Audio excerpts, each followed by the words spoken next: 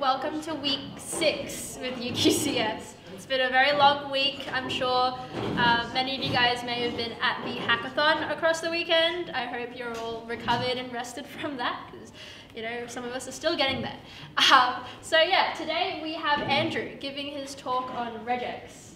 Um, I'll let him explain it. Um, but yeah, he was our ex-treasurer from last year and um, he's still here. So yeah. Sounds so accusatory.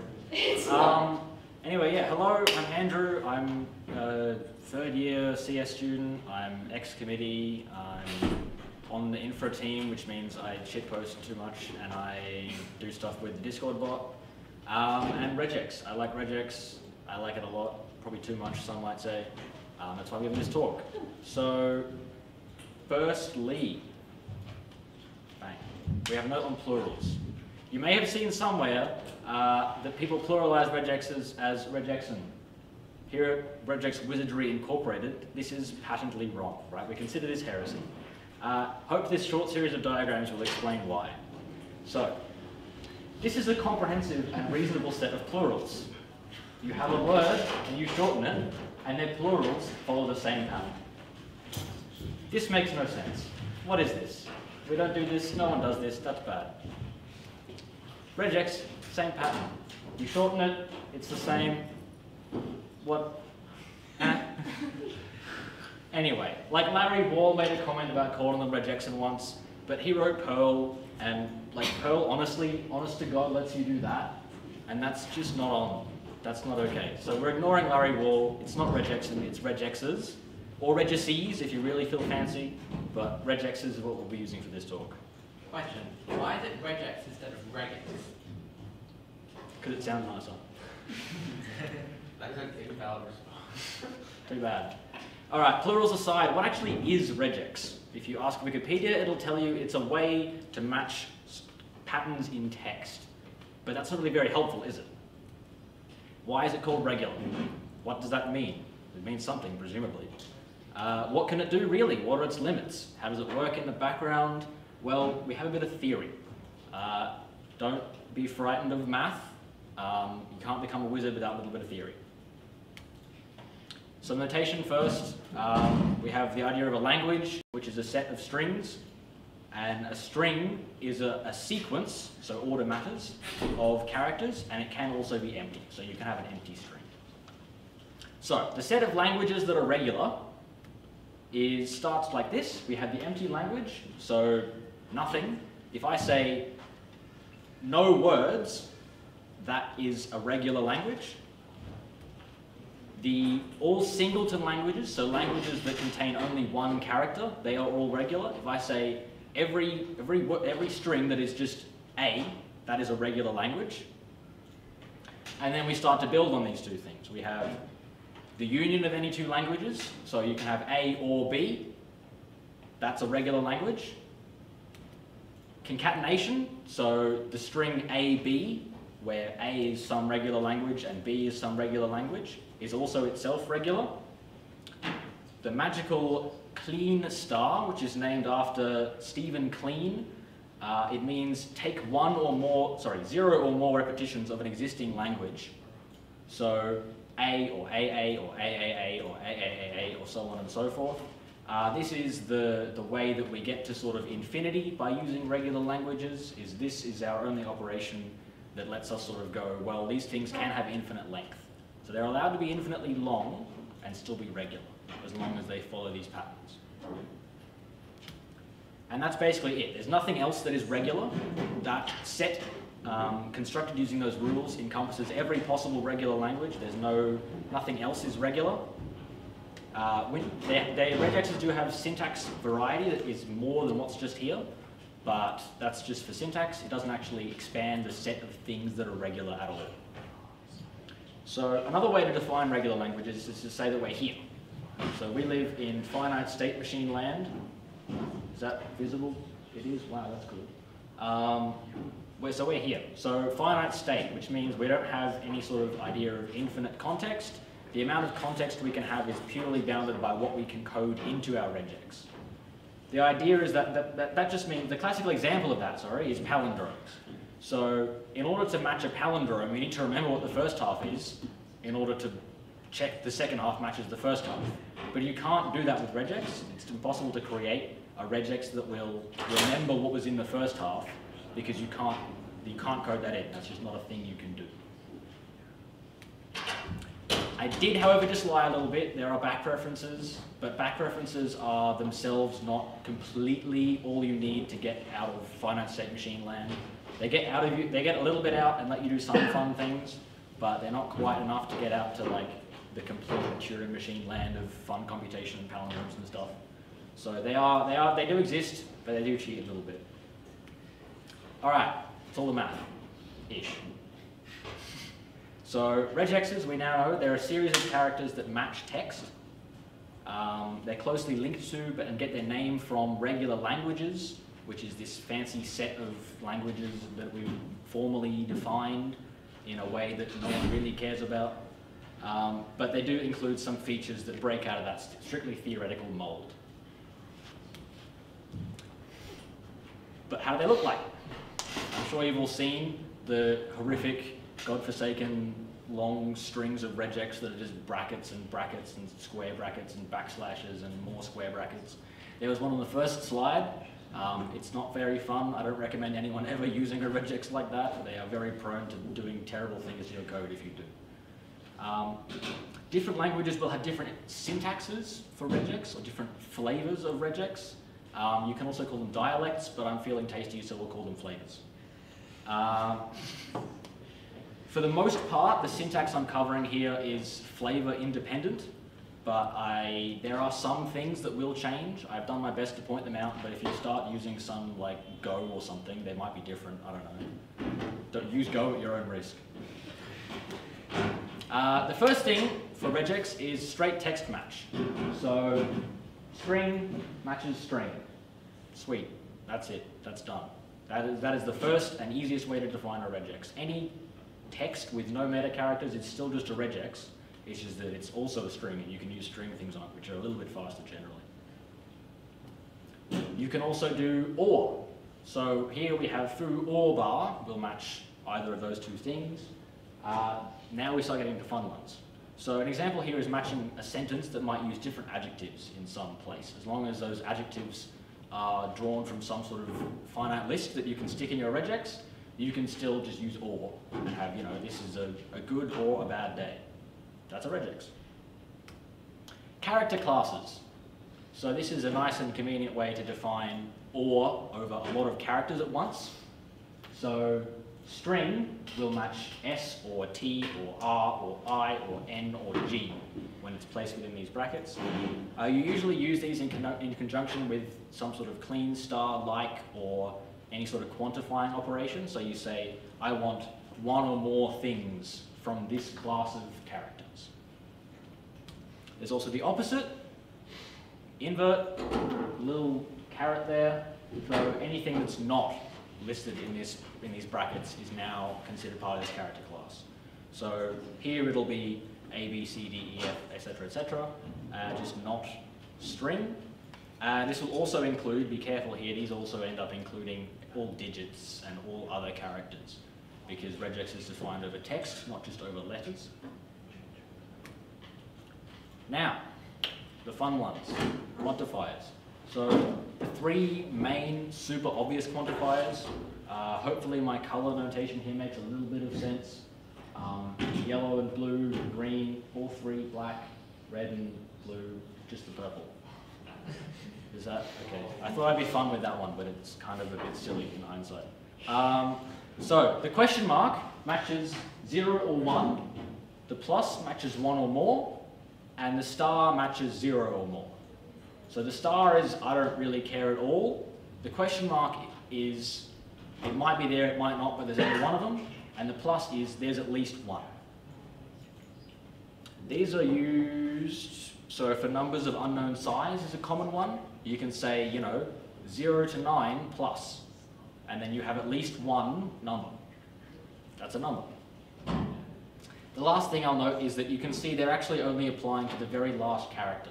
So on their own, without stuff like brackets that I'll get to in one second, uh, they will just do this. Right? They don't match string multiple times, they match string and then the last character G multiple times. To get around that, brackets. So the brackets are very useful for other things. They will come up later. Um, but for now, the idea is just that they group regexes into subregexes, and then you can apply quantifiers into those groups, or you can apply anything else onto those groups as well. And it will just apply to that whole group rather than just the preceding character. The last quantifier-based note is the question mark. So quantifiers are usually greedy, which means they will try and match as much as they physically can. This is a quick demo here. Um, I haven't explained dot yet, but dot matches anything. And so the idea is that this blue one here, the dot star question mark, will start at the question mark and go, and as soon as it sees a question mark, it's not greedy, it'll stop. But this one here, no question mark, it is greedy, so it will keep going as long as it possibly can until it finds a question mark, and then it will stop. So if you have multiple quotes in your text, question mark will stop at the first one, no question mark, all. Quick syntax break. Syntax regex is like 23 slides in this talk. I'm not giving them to you all at once. Um, here are two commands that I find very useful for working with regex. In short, we have find and replace, and then find. I'm using them as proxies here because I didn't really feel like screenshotting every single IDE ever and saying, look, this is find and replace in your IDE of choice. So I'm using these ones, but keep in mind you can use regex in a lot of different things. It exists in VS Code, it exists everywhere else. Um, don't stress about command syntax if you don't like it very much. How do I get my mouse back, please? There we go. Uh, so, they're both ed. It's all ed, it always has been. Funny bit.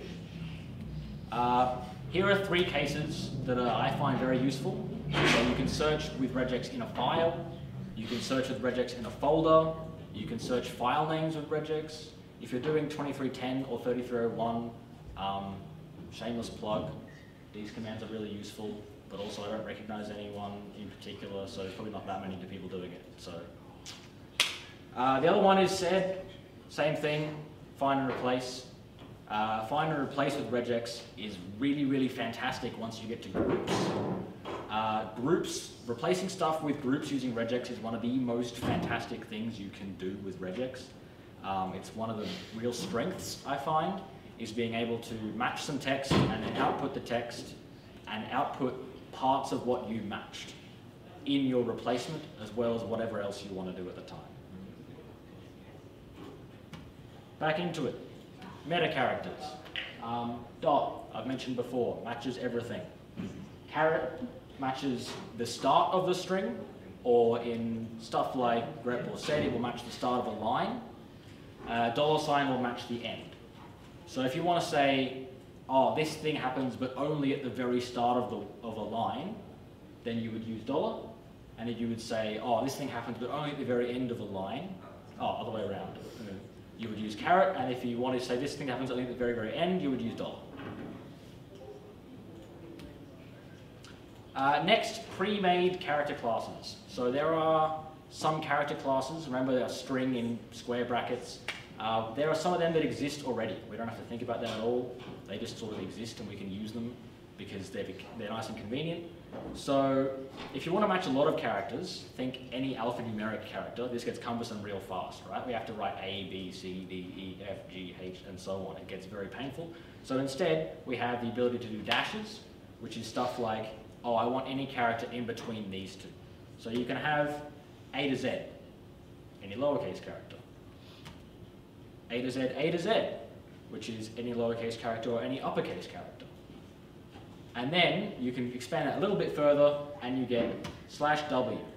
Slash W is the regex sort of standard way to say any word character. This is one of the things that is very, very commonly switched out in different flavors of regex, but word is common to all of them. It actually just means that. So A to Z, A to Z, 0 to 9, underscore. But I know which one I'd rather type, and I know which one looks better in a long regex, rather than having that written out multiple times. The next one we have that's very common and appears in basically every flavor of regex is slash s, which is any space characters, any white space. So stuff like carriage returns, new lines, tabs, um, whatever F and V are, I don't actually know, um, and space are all things that are matched by this slash S. So if you want to say something like, oh, I have some text and then some space, you would use slash S for that space, and that way it doesn't matter if it's a tab or a space or an enter, anything like that, will still work.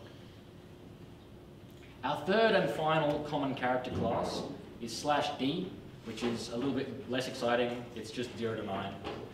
Um, the reason we use W and D a lot more as well is that in Unicode flavors of regex, they've written out these regex character classes a lot longer and in a lot more detail and make them actually handle Unicode nicely.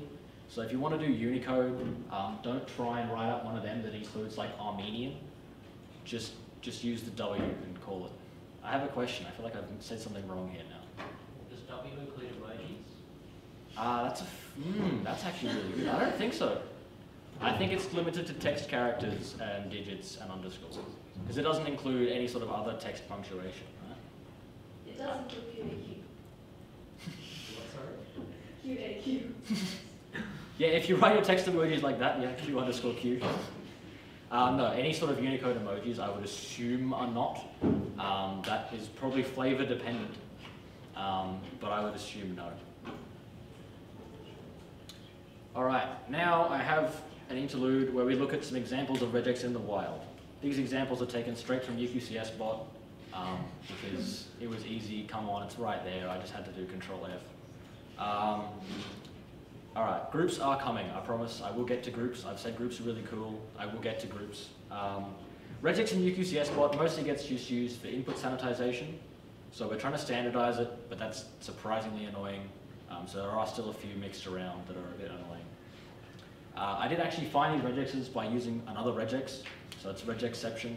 Um, I just used grep and grep-r, and that's still regex. So yep, I use the regex to find the regex. It's regex all the way down, baby.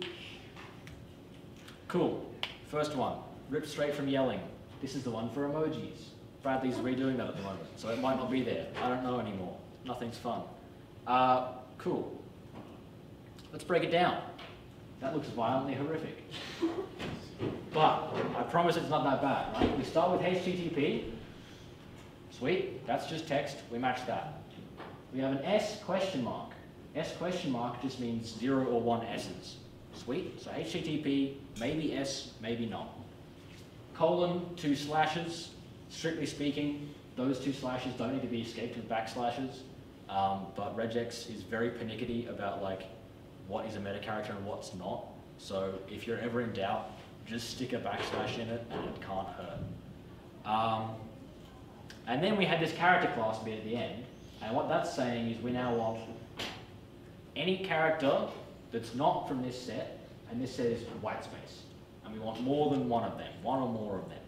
So that's saying any number of characters until you see a space. So all in all, HTTP, maybe S, maybe not, colon slash slash, and then a bunch of text up until any white space occurs. Now that's a pretty short regex. Knowing what it is, it's a little bit easy to pass. This is the sort of thing that we want regex to look like in the wild. It's something you can look at and go, oh, I, can't, I can kind of get that immediately. It's not a giant, horrific mass of groups. Our next example are emojis. This one, I think, handles animated emojis, which is why the A exists. So we'll break this one down too. What do we got? We got open, open crocodile, um, A question mark, so zero or one A, colon, slash W plus, so one or more of this thing, uh, another colon, slash D plus, so one or more number, and then close crocodile. Uh, remember Python handles Unicode nicely, so these aren't entirely 100% accurate, so this one is also including like Armenian and all that sort of stuff in there as well, but I didn't really want to write that out, so just pretend it includes Armenian. And also, none of our emojis have Armenian in them anyway, so we should be right. The site I recommend for working this stuff out is regex 101. I will shameless plug it here, not sponsored, but um, I'm free, so call me. Um, looks like this, very fantastic. You stick a regex in, you stick a string in, and then you can actually watch it, see how it matches, see why it matches or see why it doesn't match. The explanation thing up in the top right there uh, actually explains step by step what each character or each sequence of characters is doing in your regex, which one's doing what, why it is working, why it's not working. If you have syntax errors, they'll appear there as well, which is usually stuff like mismatched brackets. Um, this will also generate errors if you have stuff like catastrophic backtracking or you have stuff like uh, non-fixed width lookarounds, um, which I'll get to in a second as well. You also have a quick reference and multiple flavors. So it does handle PHP, JavaScript, Python, and Perl. And I think that's it. Um, maybe more, maybe less, I don't know. But What's the difference between all the regexes in different languages? the different like flavors. Yes. Uh, usually it's limited to just what um, character classes come pre-built in. So slash W, slash D, and slash S, word, digit, and space. They're in all of them, but the rest of them all have a lot of variation. So a lot of, a few, I think Perl from memory includes the ability to do like slash P and then braces and then write like slash P Armenian and it will match any Armenian character, which is pretty fun if you're into Armenian. Um, what else? What are the other good options? Um, Sed, sed flavored regex requires you to backslash your brackets when you do groups, which is really painful and annoying. Um, but yeah, it's mostly just tiny syntax things. Um, and the big one is character classes, which ones are included and which ones aren't included. But yeah, speaking of groups, groups, ah, skipped a slide. Uh, uh, groups, brackets, very cool. So brackets, as we saw earlier, they let you group up your stuff and they let you apply operators to a whole set of brackets all at once. But they also save what you've written, what you've matched inside that bracket, and then you can use it later, which is fantastically useful. Um, there are five types of group all in all. Uh, one of them is this one. It's the most important one because it's just the standard group. It's used for everything. Uh, there are also four varieties of look around, which is look ahead, look behind. Um, I think one of these will be covered by the camera of me streaming. So uh, if you're on live stream, sorry, that one's pay to win. Um, look ahead, negative look ahead. So look ahead will do, does this thing exist in front of me without actually going and consuming that text? So you can then match it again later, or you can not match it at all. Negative will do the same thing, but opposite. It'll say, is this thing not in front of me? Uh, then there's look behind and negative look behind. And look behinds are a little bit special in that they have to be fixed width. You cannot use the Kleene star or the plus or anything else. They have to have a strict maximum length. Otherwise, your regex will break and it will whinge at you and say a quantifier inside a look behind makes it non-fixed width, which is a horrific error message that I don't wish on anyone. Here's, I now have an example of groups, group find and replace, which I found very useful. Um, there's that one. That looks really kind of bad, but I've highlighted in blue, group, and then use of group. I'll, it's up now. Um, skip the sed syntax because it's sed, and you didn't come here to learn about sed. Sweet. So we found the top one, replaced it with the bottom one. And our brackets in blue, you can see they've formed a group and then slash one here actually refers to that group. So what we've done here is we've found two numbers dash two numbers. Every time we find them, we save them. And now our replacement, we're putting in square bracket, square bracket, and inside that square bracket we can put in what we've just matched. So instead of just blindly finding and replacing, or worse, copying and pasting and typing that all out, we've actually now automatically ripped out all of them and stuck them in those brackets and added this CSS stuff as well without any thought involved. We've just written a little regex that's done it. So group find and replace here, fantastically useful. Realistically, this looks like this. So we've got this input string here of 0000 and 0015, and we've grouped them and replaced them and found and added that extra stuff around them. Sweet, fantastic. One command or one control H in VS Code, whatever your favorite IDE is, will be able to do this with regex, TM.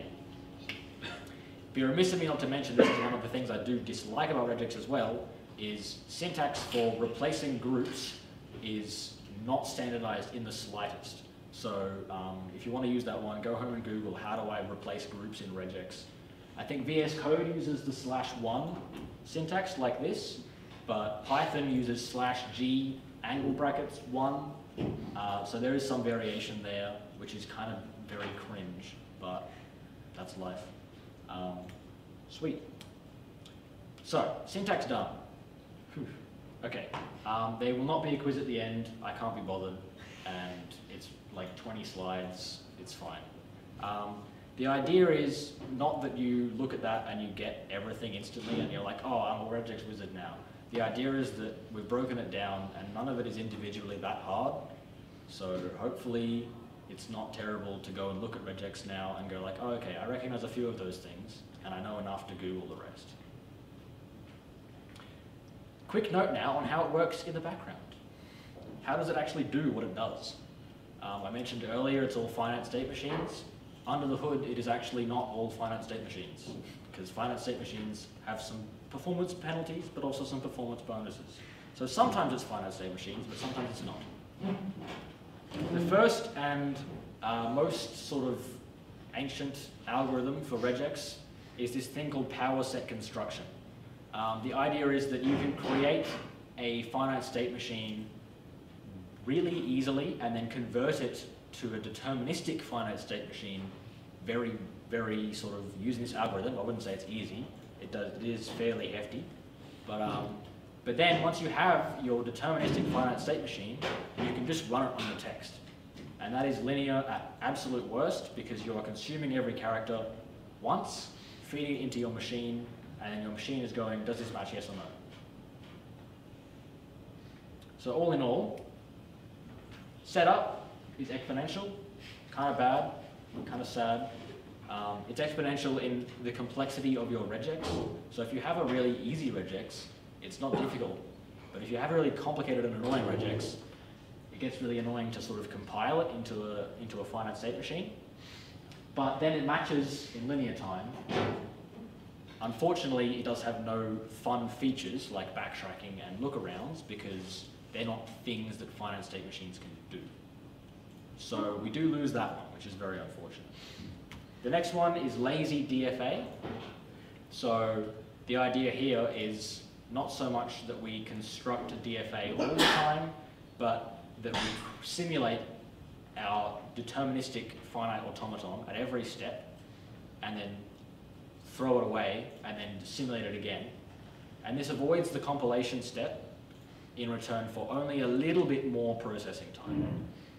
So this one ends up being basically free to set up because you don't have to think about it at all to set it up. When it runs, its runtime is proportional more to the size of the regex as well as the size of the input. Um, but again, we are still simulating a finite state machine, and so we still do not get those fun features. If we want the fun features, we go to backtracking. And backtracking is the most common implementation of regex for this reason, because people are attached to the fun features, um, and they are very useful features at that, but they do have some sort of downside, which is that backtracking has this thing called catastrophic backtracking. And that's saying their runtime of backtracking is actually exponential in the worst case. So at the absolute worst, your runtime will actually end up being exponential in the amount of input you have, and that means it gets very, very slow, very, very fast. Catastrophic backtracking is basically a regex meme at this point. Um, it's got its own like CVE for like my regex is bad and I've DOSed my app because someone submitted something they shouldn't, and it just the regex chewed up like a million years of processing time. Um, so in a few slides I will talk about how to avoid that, how that works, why that happens. Uh, but now we know how it works, let's have a look at what it absolutely can't do. So remember finite state machines, we're here-ish. We do have backtracking, which means we're not strictly there, but like we're close enough, right? We're pretty, we're pretty mostly there. There is a fantastic Stack Overflow post, which I'll reference now, which asks, how do you match some HTML tags with regex? And HTML, you kind of can't do that, right? And this answer was prompted by this guy called bobince, and he wrote this, which is like unreasonably metal for a Stack Overflow post about regex, right? Like, that's insane. But he's right, right? Mathematically speaking, you kind of can't do it. And the reason why is because we are here. There's a hierarchy of languages. Some languages are fundamentally, mathematically more complicated than other languages. This is basically related to how much context they need to remember, how much memory they need to have. If you think about it, most problems in computability just come down to how much memory do you have. Because if you have enough memory, you can just remember everything and then you'll figure it out eventually. Um, regular languages are at the lowest level of this hierarchy, right? They're at the very bottom. But HTML lives up here. So it has a lot more things in it that regex just simply is not mathematically equipped to deal with. It requires you remember a lot more stuff. And that remembering just sort of fundamentally means your regex will never be able to do HTML. Most programming languages live in this recursively enumerable space, but it is sort of pretty varied and it's very, very random. Uh, I wouldn't say it's random, it's actually very strictly mathematically defined, but it's random as far as I care. Um, they line up like this. Um, those arrows are sort of hard to read, but uh, the idea is that regular will line up with finite state machines. Context-free languages line up with push-down automaton, which is like, the idea is that you have a finite state machine, but you also have basically a stack where you can push and pop stuff. Um, and then recursively enumerable things are only possible by a Turing machine. Uh, there is one in the middle there that we skipped, but that's because it's related to like some funky variation of Turing machines that have bounded memory, and it's just weird. Um, so we'll pass on that one. Uh, the next regex example I have here actually is from a shitpost in UQCS a little while ago, which was can we do this in pure Python? Can we write Python that will do this to Python like automatically, right? Write a preprocessor-ish that will actively modify Python. And can we do this with regex? Is, was my question. Um, here's what I got. Um, that looks pretty grim.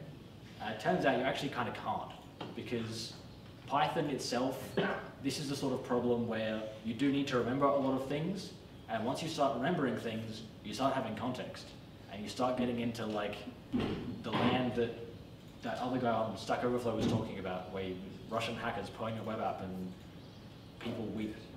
Um, so our main problems we have with doing this, right, is that we have these things in Python. We have comments.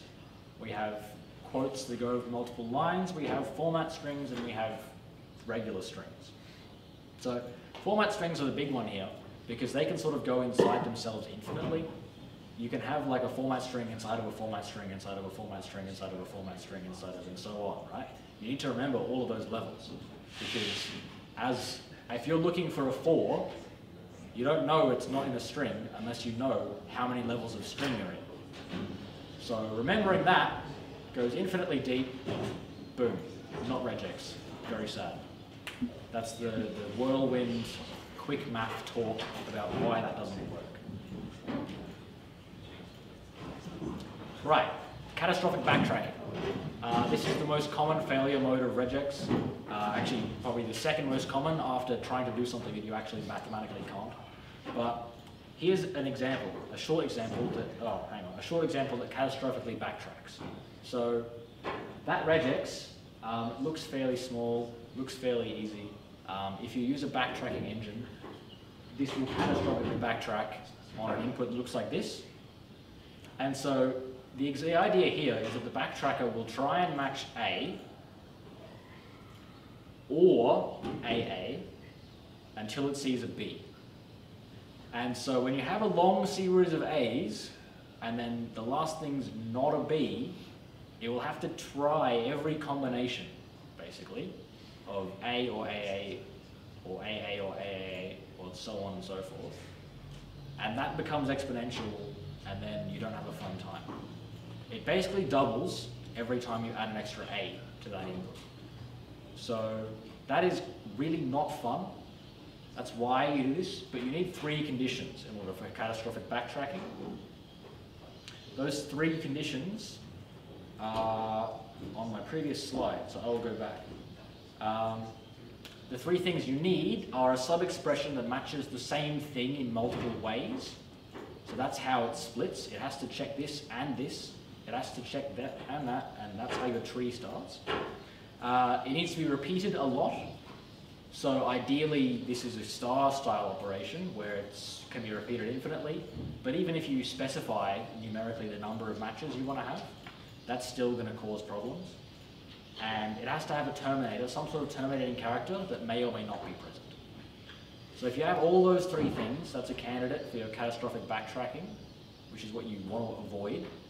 So the best way to avoid this sort of is to just take away one of those things. So in this example, um, this example is incredibly contrived and I sort of can't do it.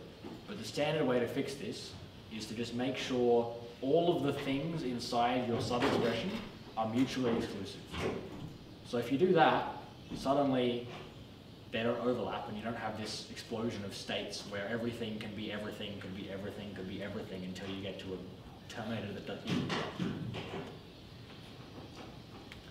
So, I shall leave you with six rules for wise regex use. Uh, rule one, keep them short. So all the examples I've had here, um, I wouldn't say all actually, that's wrong, I do have a couple that are longer, but all the good examples I have here are within sort of 10 characters. Um, it's better to have 10 10 character regexes than one 100 character regex. Right? If you're reading code, you're in the mindset of the language of the, that the code is written in. You're, you know, you're reading Python, you're reading OCaml, you're reading Scala, whatever. Um, you're not reading regex, right? So if you see a regex, you should be able to quickly identify what it's doing and then get back to the actual code you're reading, right? The other thing is if one of these small regexes is failing, it's a lot easier to debug, oh, that one there is failing, it's only four characters or whatever, than this gigantic, humongous 100 character behemoth is failing somewhere. I don't know where, but somewhere in there it's failing. Next rule, keep them commented. Keep them short, keep them commented. So by commenting your regex, you're sort of ensuring that it's readable beyond even what's in the regex. If you get someone who's coming along and looking at your code and has no idea what the regex does, they can still just read the comment and get on with their life. Um, they're not supposed to sit there and go, uh, brackets, uh. This is also helpful for you in the future. TM. Um, I've written regex before, and then you come back to it, and then you're like, oh, what the hell was I doing? Right? Like, keep them commented and keep them short, and then you'll be able to always come back to it as well and see what it's like later on. Hoist out as much logic as you can into the actual code. This is based on point one a little bit, but it's also sort of its own point where at some point it becomes easier to just deal with like nested ifs than it does to deal with like a gigantic regex. At some point it's, it's literally just easier to be like, okay, if it matches this short thing, and it matches this short thing, and it matches this short thing, you know they're an and, right? You can read the word and, or you can read the double ampersand in whatever language, right? It's a lot harder to read that regex if it's all just bunched up together. Split out your concepts into different regexes and use them all individually. Uh, make sure you can't catastrophically backtrack yourself and have bad times. Um, the easiest way to do that is to just make sure whenever you have a sub-expression that is happening multiple times, you're always checking that each one of the things in that sub-expression are mutually exclusive. There's no way that they overlap and then generate this massive tree of grim. Make sure it's a regular problem. That's the big one. I spent a lot of time going in circles and like not having a fun time, just to realize that what I'm looking for is not actually a thing. The regex I'm seeking does not exist. The combination of magic runes just does, it's not there. Um, there's no way I can pass what I'm doing with regex. And at that point, you've wasted so much time and you're just like, oh, what the hell am I doing? So try and always think about your problem first. The easiest way or the most intuitive way I find to think about it is, is this thing something that requires any sort of memory whatsoever? And if it requires any sort of memory, it's not regexable. Some exceptions apply. Um, but they, yeah, so try and avoid wasting a lot of time writing regexes and writing ever increasingly complicated regexes for things that you actually just can't do. And finally, with great power comes great responsibility. Try and use this regex knowledge wisely. Don't become that guy who just sticks regex in everything and then you're just like, oh, what is this? The regex guy's been here. I can't believe this. I know because I was that guy, like definitely. Certified. I probably still am. Um, but yeah, try and use regex wisely. Try and be nice with it. Keep them short, keep them simple. And hopefully you'll have a good time. Cough, cough, Rachel.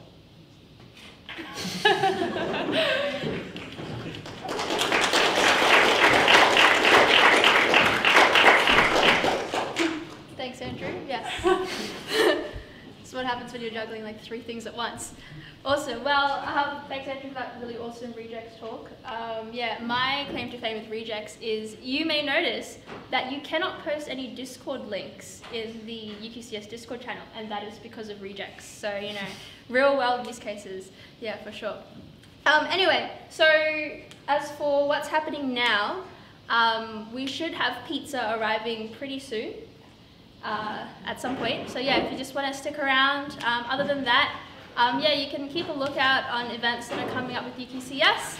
Um, the big one that's coming up next is the high frequency networking event that's happening in week eight on Wednesday. So if you want to come and meet some of our sponsors, um, yeah, go go to that event. It's going to be really fun at Story Bridge Hotel. Um, but yeah, thanks everyone, and uh, yeah, see you.